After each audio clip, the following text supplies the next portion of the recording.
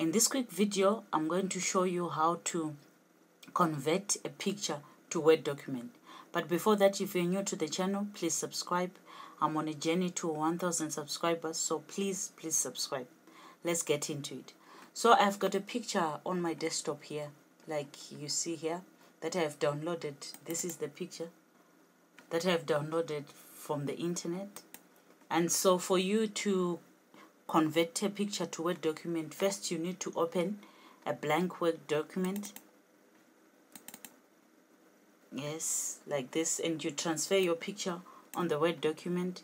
And if you want to enlarge it so that we can see what's there, like this, and then you go to File,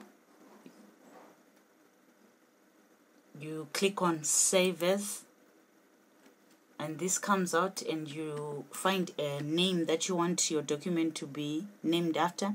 So I'll say picture to word picture to word and then here I'll come I'll select PDF so we are saving this document first into PDF so we export it's exporting to desktop here. So it's saying word is converting yes it has converted and it's here. So we can even close this one. I'll say don't save. And then I'll go on the PDF that I have saved on the desktop and I'll right click and I'll say open with and I'll look for Word document. Here it is. So it's now converting. Word is converting yes it has converted now.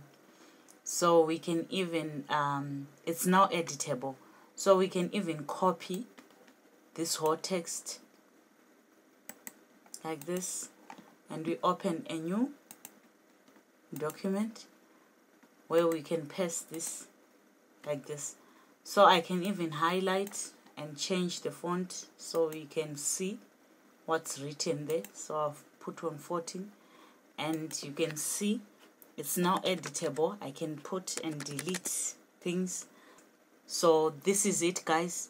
That's how you convert a picture to a Word document. If the video was helpful please subscribe like share and see you in the next video